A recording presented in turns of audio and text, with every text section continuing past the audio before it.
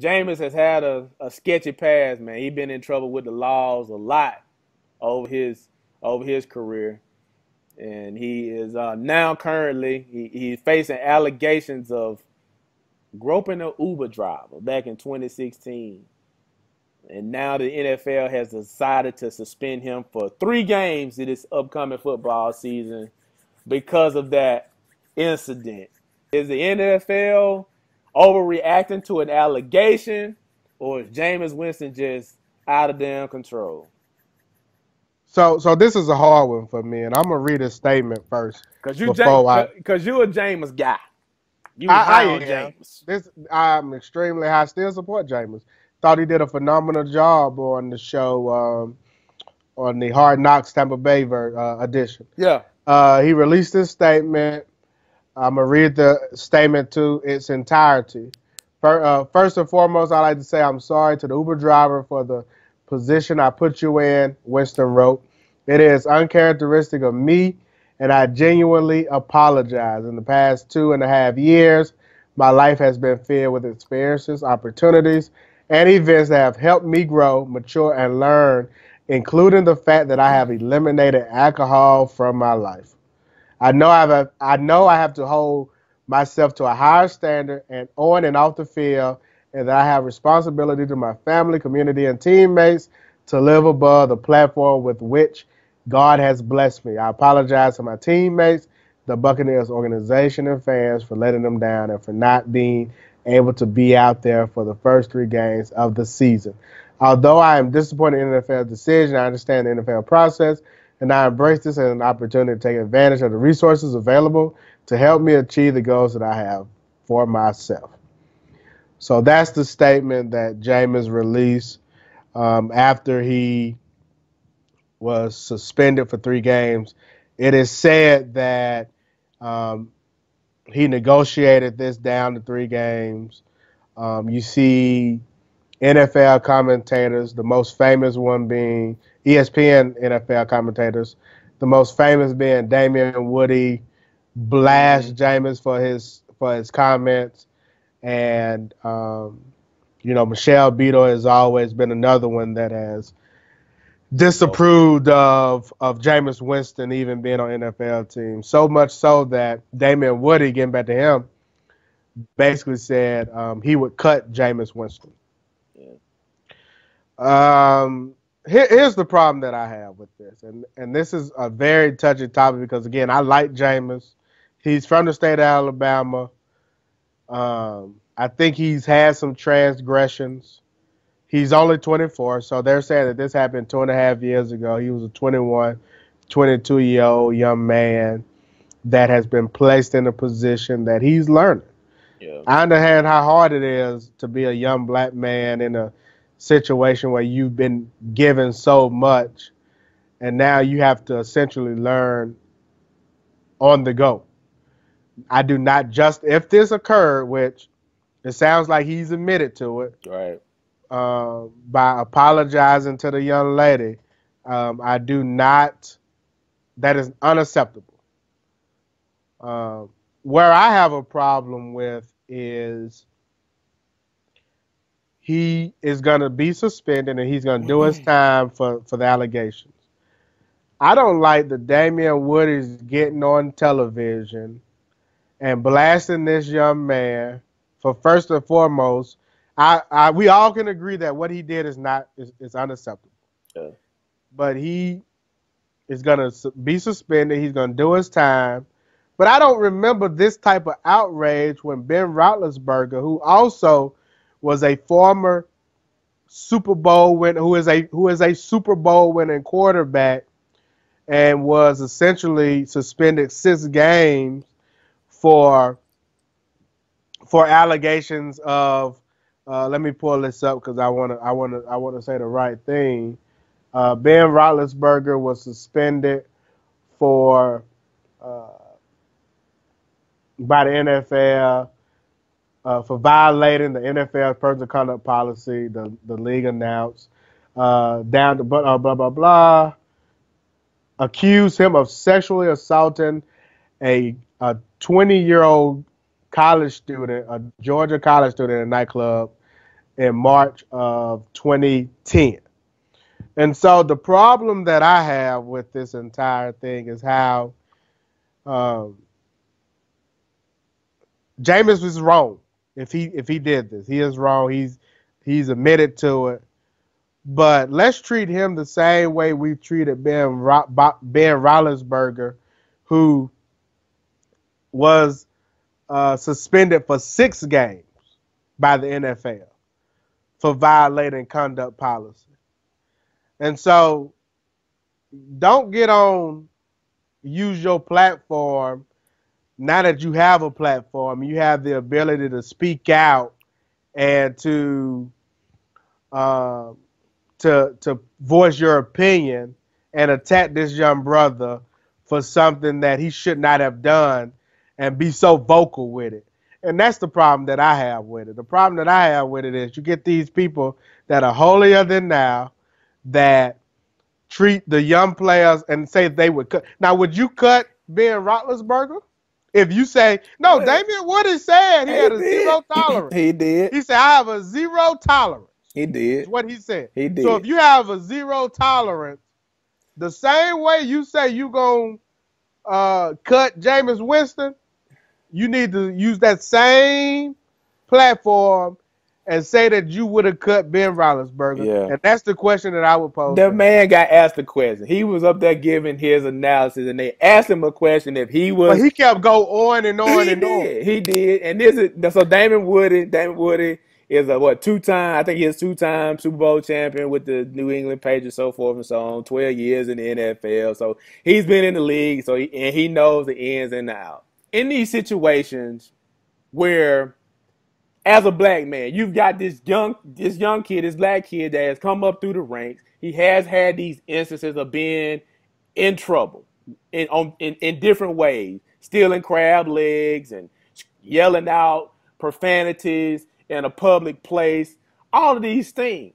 At some point, you got to enforce some tough love. Like, man, go sit your ass down somewhere. No, no, no, no, BG. And they asked First off, if you no, if you the, if you First the general, off, if you the general manager if you're the general manager and you got somebody that you leaning on, you paying all this money, and it looked like that they're gonna continue with this pattern of being a detriment to your program from a from a promotional standpoint, and who knows how these legal instances affect his performance on the field because last year wasn't that great for him. So if you're an owner and you got this guy that seems like he that's, refuses, that's a false that's a false he, statement he too. That was actually one of his best years last year. It, okay, so how are how are quarterbacks ultimately graded? How quarterbacks win, win, wins and losses? Okay, wins and losses. Quarterbacks are ultimately graded by wins and losses. Did they win or did they lose more times than none? No, they they finished the season well. He doesn't have a lot of support around him. Okay. I actually think that this is the year where you can judge truly judge him on uh, where he is as a player. Right. Here's the problem that I have though. Yeah the problem that crab legs, the rape allegation, mm-hmm. allegate allegation that that's mm-hmm. college.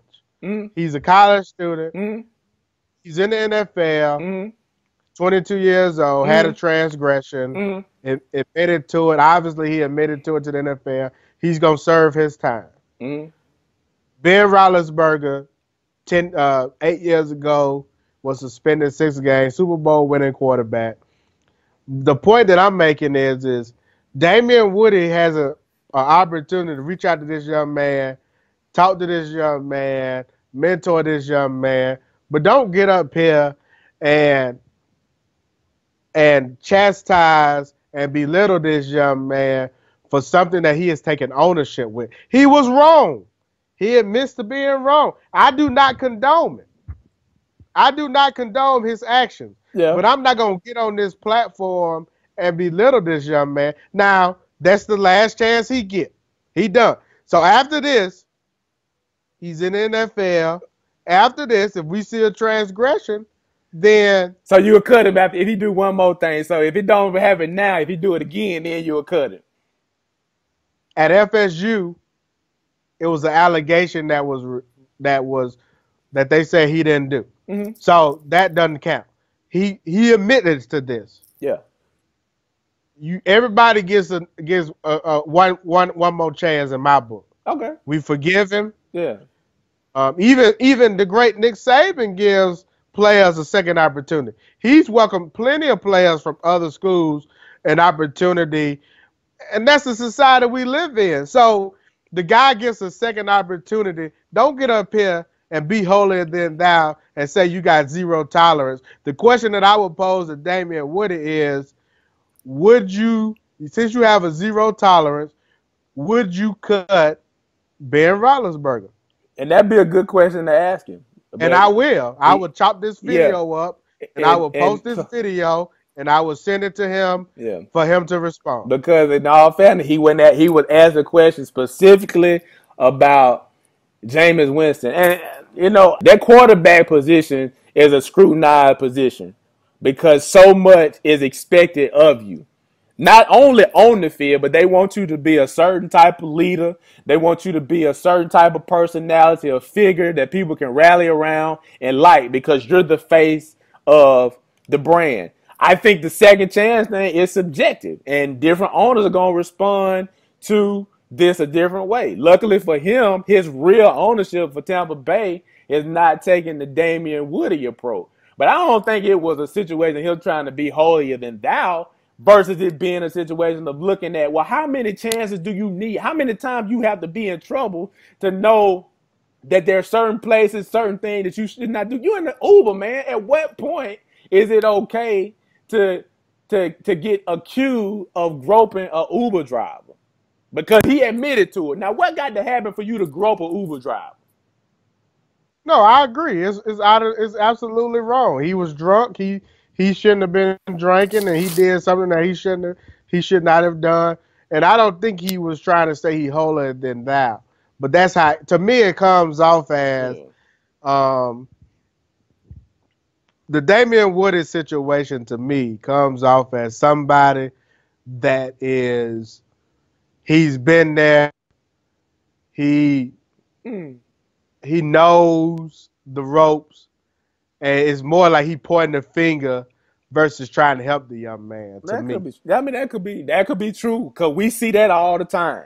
We see that all the time. We see that all the time. So it, it could very well be that I don't know his track record. This was really my first time having any knowledge of who who he is on this level. So I don't know what type of dude he is. But I got to honestly say, like, James, come on, man. Like we, no, I agree. Root, I, but, that, but, but look at this though. We talking about yeah, but we two. But this is two and a half years ago now. Have we seen any transgressions? See, this, and this is something else you got to put into perspective. This is 2018. Yeah. This happened in 2016. This is two and a half years ago, and I have not heard of any transgression since this since this incident. So to treat this as though this happened yesterday, I don't think that's fair to the young man. Perhaps he's changed and he's grown. But let's start from from this point and let's see what he does. And if he continues to respond in the way yeah. that we that that some believe he that he is, then then I'll then I'll revisit this topic. But for now, it's not right. Yeah. Uh, but we want to we want to crucify the young man for, for some of his transgressions, and and I think Charlemagne even said this in this day and age.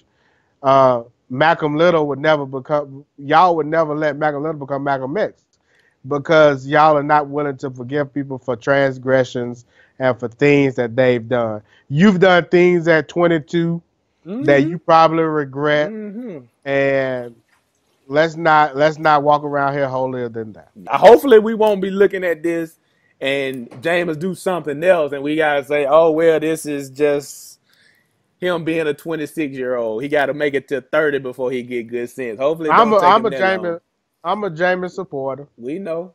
Yeah, obviously. Yeah, I root. Well, that's not what my intent was, but I'm a James supporter. If anybody that listens to the show know the young man, I have no problem talking to the young man and mentoring the young man because I want him to succeed. I hope he succeeds, and I I hope for the best for the young man. That me so. that me too out here. Me too ain't nothing to be played with. So I'm wondering and, if mm-hmm. that I'm wondering if that that allegation was brought out because of this this Me Too climate that we have. Absolutely, absolutely. This Me Too got something. And and and for another topic, not today, but I want to visit as a topic, uh, Me Too and you know the effects of Me Too, particularly around when they get involved. So let's let and use this as an example. If Bill Cosby had passed away two three years ago, um, prior to the Me Too movement getting involved into everything that was going on, what would his legacy have been? And so I guess the whole point is is you know with the role that the Me Too movement is playing today, there's a chance that legacies are being shifted yeah. and wiped out uh, because of this movement. So uh, I'll leave it at that. And I want to visit that one day. Yeah, and that that's a good point because it is it is out there, and what once would be like a time cutoff. If, if it happened 20, 30 years ago, we ain't really paying attention. Them days is over. It don't matter how long ago it was. It's still as relevant now as it was back then. And now people are gaining courage, it's gaining leverage, and people are now feeling free if they were violated to speak about it.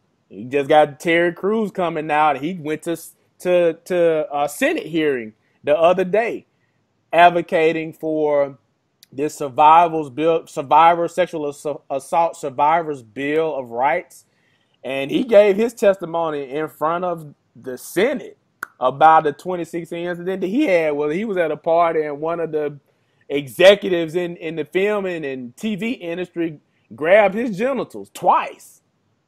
So, you know, this thing. And his wife was, was, and his wife was, was there. there. And he was placed in the dilemma. His thing was how he was in this dilemma at that stage in his, I guess, career. You got this executive do you watch this dude? Do you get into a physical altercation, get into a fight, you go to jail, you get blackballed in the industry?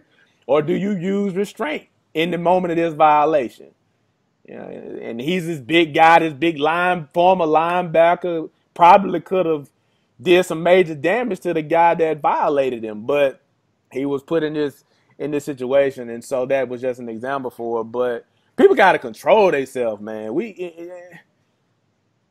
with these these sexual tendencies and, and this power merging them together, people just out of control. So we do need to have that talk, and hopefully this whole Jameis thing will will resolve itself on both ends, both parties involved will get the, the justice that they they rightfully deserve, and we don't have to have no more conversations about Jameis groping nobody, stealing nothing, cussing nobody out, and whatever else that, that's out there that could cause a young brother. And, and, and let me and let me be clear: I am not in no way condoning the actions of Jameis Winston. I think that he admitted to, uh, he essentially admitted and apologized to the young lady.